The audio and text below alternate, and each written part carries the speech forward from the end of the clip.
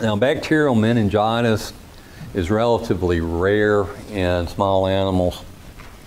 Uh, unlike uh, some species, like cattle, they don't have uh, a common meningitis. Usually it's secondary to something else.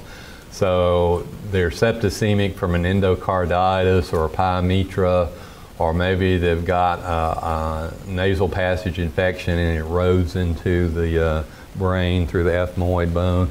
Uh, so, uh, but uh, somehow they wind up with a meningitis, and the etiology varies uh, in this regard.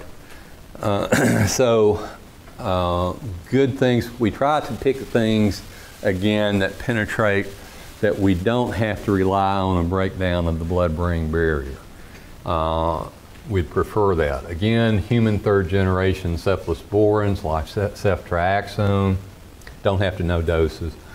Uh, kind of uh, in human medicine, the drug of choice for bacterial meningitis are carbapenem. These are probably really good in terms of not much resistance out there. Then we get into things that are a lot cheaper that you can use but may uh, not be quite as good.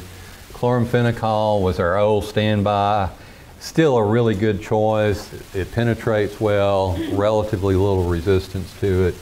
Fluoroquinolones, we don't have a reputation for treating meningitis, but they penetrate, they have good activity, so they should work. And if you're looking really cheap on a big dog, trimethoprim sulfa will also go across. Uh, so these are all possibilities. Now, I mentioned chloramphenicol. This was our standby.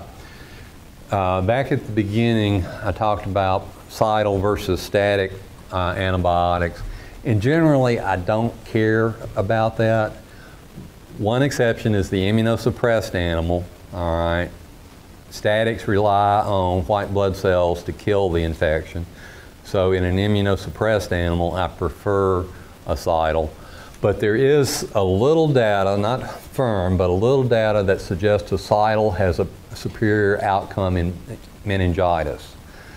So uh, that's the one knock about using chloramphenicol.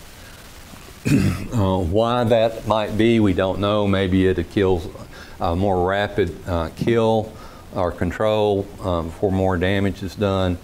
But still, chloramphenicol is a good choice. Now, not bacterial, but protozoal, we have toxoplasmosis.